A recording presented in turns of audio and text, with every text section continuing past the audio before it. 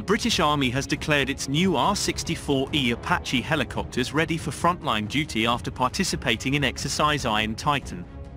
According to the service, one of its regiments tested every aspect of the rotary wing aircraft, from logistics, command and control, maintenance, and field operation.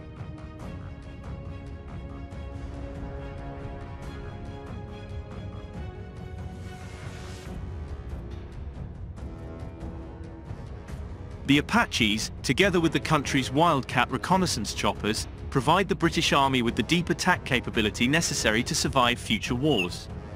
During the exercise, the US-made helicopters and the regiment operating them successfully conducted strike missions on simulated enemy positions based on the attack plan provided.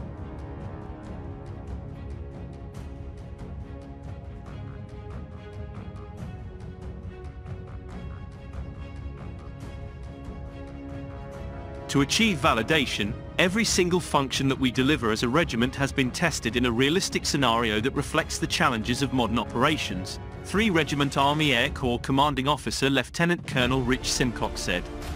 He added that the exercise allowed the service to show how it can sustain itself and survive on the battlefield with the help of the new AH-64S by striking targets far behind enemy lines to give troops a decisive advantage.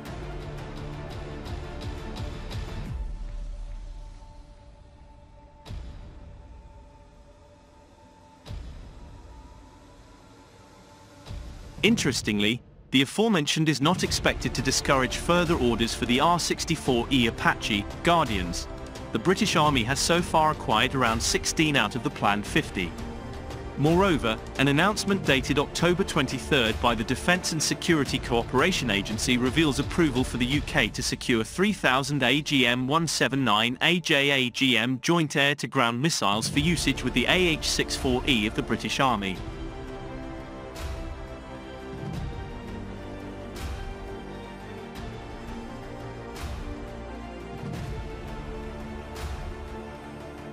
The potential deal is expected to be worth approximately $957.4 million, translating to nearly £790 million.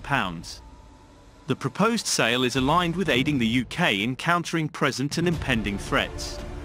The capability derived from this sale would fortify the defence of its territory and deter regional threats.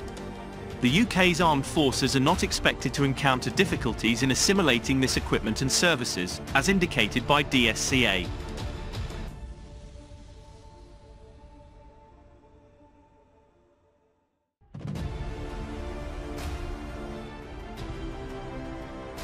AGM-179A, originally developed by Lockheed Martin as a successor to AGM-114 Hellfire, only achieved initial operational capability early in 2022 when deployed by the United States Marine Corps on their AH-1Z attack helicopters. Both Poland and the Netherlands have expressed interest in acquiring this advanced missile system. It is noteworthy that an enhanced version of this missile, with a range of up to 16 kilometers, is currently under development.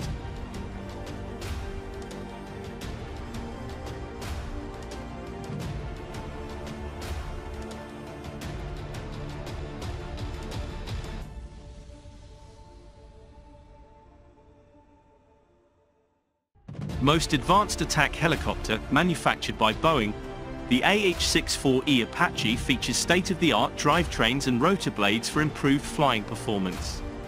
It also has advanced sights and sensors, communication systems for better interoperability, and embedded maintenance diagnostic systems for faster repair. Furthermore, the chopper has improved nighttime operation capabilities and is capable of controlling a couple of unmanned aerial vehicles.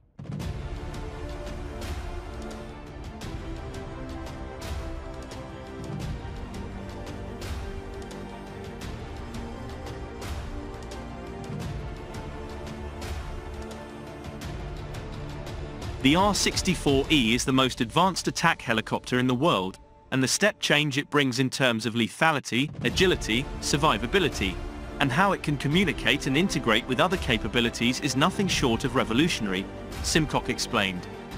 Simcock disclosed that British aircrew and engineers have been on training courses in preparation for the frontline service of the American choppers.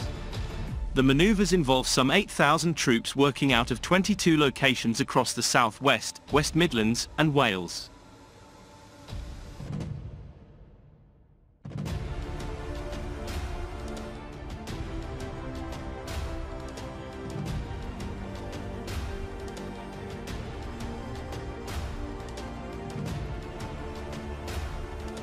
50 Apache AH-64E version 6 aircraft have been purchased from the United States to provide a state-of-the-art attack aviation capability that will be a key element of how the Army fights in the coming decades, as set out in the Future Soldier program. The AH-64E replaces the Apache Mk.1, which entered service in 2001 and proved itself as a battle-winning asset in Afghanistan and Libya,